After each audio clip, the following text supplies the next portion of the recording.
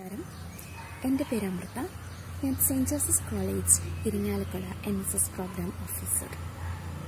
ഒരു കോടി വൃക്ഷത്തൈകൾ നട്ടുപരിപാലിച്ച് കേരളത്തെ പച്ചപ്പിലേക്ക് തിരികെ കൊണ്ടുവരിക എന്ന ലക്ഷ്യം മുന്നിട്ട് തുടങ്ങിയ ഹരിത കേരളം പദ്ധതിയുടെ ഭാഗമാകുവാൻ ഞങ്ങളുടെ കോളേജിനും വിദ്യാർത്ഥിനികൾക്കും സാധിച്ചു എന്നതിൽ സന്തോഷം.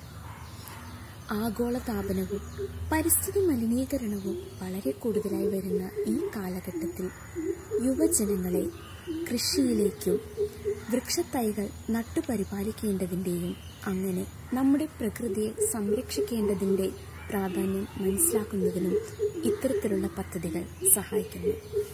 ഈ പദ്ധതിയുടെ ഭാഗമാകുവാൻ എല്ലാ വിദ്യാർത്ഥികളെയും ആഹ്വാനം ചെയ്യുകയും ഇതിന്റെ ഭാഗമായി ഇപ്പോൾ പ്രവർത്തിക്കുന്ന വിദ്യാർത്ഥികൾ അധ്യാപകർ വിവിധ സംഘടനകൾ എല്ലാവർക്കും ആശംസകൾ അർപ്പിക്കുകയും ചെയ്യുന്നു. ഈ പദ്ധതി അതിന്റെ വിജയത്തിൽ എത്തിച്ചേരട്ടെ എന്ന് ആത്മാർത്ഥമായി ആശംസിക്കുകയും പ്രാർത്ഥിക്കുകയും ചെയ്യുന്നു.